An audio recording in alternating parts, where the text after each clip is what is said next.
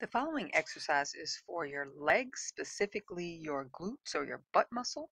You're going to start off on the side of a step uh, like I have here, or you could use stairs in your home or outside of the home.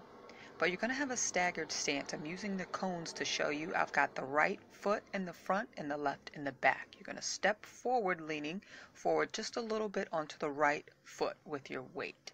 Then you're going to lower yourself back down, most of the weight still on that leg that's on the stepper. That's how we'll be focusing on your glutes. To modify, you're just going to use something to help support you as you step up onto the step and down.